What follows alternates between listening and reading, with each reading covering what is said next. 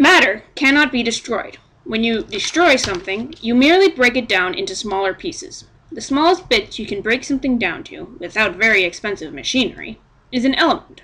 No, that's better. These elements don't stay in one place, but move through the world in different forms called reservoirs.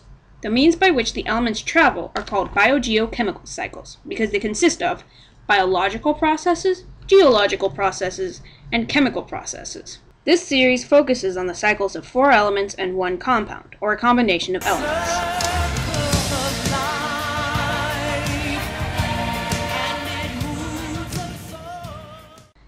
Nitrogen is part of DNA, your genetic code.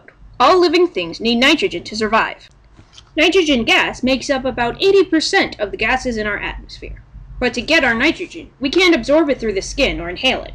Instead, we get nitrogen as a solid in the food we eat. So how does a gas become a solid?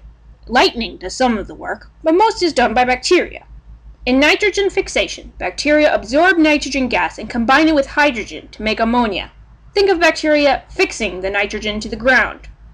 Some of the ammonia is converted into ammonium. Remember, ammonium has more letters and more hydrogen atoms than ammonia. Ammonium is a nutrient used by plants and is absorbed directly into plants.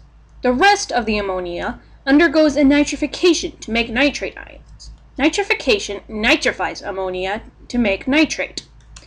Nitrate is easily absorbed by plant roots to be used in proteins and nucleic acids. We now have nitrogen in the life cycle. Nitrogen is returned to the soil through our wastes and corpses. In ammonification, the nitrogen in these wastes is converted into ammonia. This ammonia can re-enter the old cycle or go through denitrification, where it is returned to the atmosphere as nitrogen gas or nitrous oxide. And so the Earth revolves in a beautiful cycle of life. Not! We humans are disrupting the nitrogen cycle in five major ways. 1. We dump large amounts of nitrogen into the atmosphere when we burn fuel. 2. Our demand for good, cheap food adds an overabundance of nitrogen into the soil.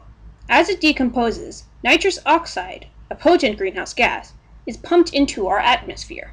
3. Destruction of natural reservoirs such as forests and wetlands creates more waste to be decomposed, adding even more nitrous oxide to the atmosphere, in addition to disrupting our planet's ability to store nitrogen. 4. Runoff from inorganic fertilizers and sewage can end up in waters hundreds of miles away, where dead zones appear. And 5. We remove nitrate from the soil with our extreme farming methods. So what can you do? You can buy organically grown food. You can eat less meat.